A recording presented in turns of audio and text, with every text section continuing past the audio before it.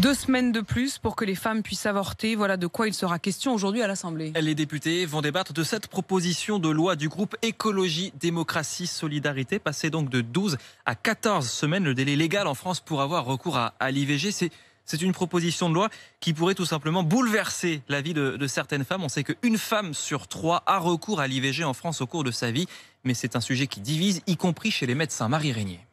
À la maison des femmes où elle consulte, Mélanie Orox voit quasiment chaque semaine des patientes qui souhaitent avorter mais qui ont dépassé le délai légal et les profils sont multiples. Ça peut être euh, une femme qui ne s'est pas rendue compte qu'elle était enceinte, parfois des formes un peu de déni.